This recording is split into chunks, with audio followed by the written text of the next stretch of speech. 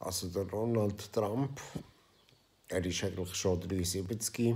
Das heißt, er ist seit acht Jahren pensioniert und er wird langsam ein bisschen dement, senil und hat Alzheimer. In seinem Alter kann das schon mal auftreten, das ist normal. Und äh, er ist Präsident geworden, weil er den kleinen Leuten alles versprochen hat und weil er Milliarden hat. Aber äh, langsam kommt der Joe Biden, einer, der im Kopf noch klar ist, einer, der klar denken kann. Und da wird ihm dann der Präsident schon wegnehmen. Und dann kommt dann vielleicht noch Michelle Obama kommt auch noch. Und Hillary Clinton. All die Politgrössen werden sich dann anspornen.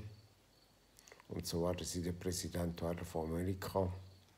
Oder haben zumindest gute Chancen.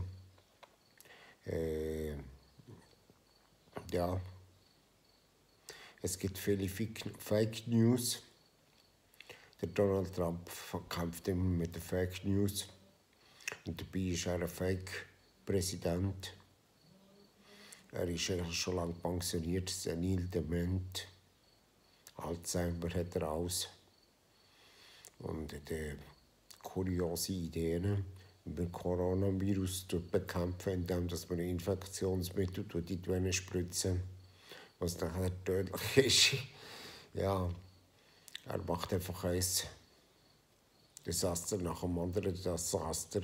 Darum sollte man ihn so schnell wie möglich abwählen und endlich mal einen Demokrat wählen, so wie der Barack Obama, einer, der wenigstens ein gesunden Menschenverstand hat und nicht ein Bauer, einen Mauer zu Mexiko bauen wenn ein Windstoß kommt, dass dann die ganze Mauer auf dem Land von Maximum Boden liegt. Äh, all die Versprechen, die er gemacht hat, waren wirklich nichts von Donald Trump. Also wir müssen ihn sofort abwählen und einen guten demokratischen Präsidenten holen. Und wenn wir keinen finden, nehmen wir einfach wieder Barack Obama.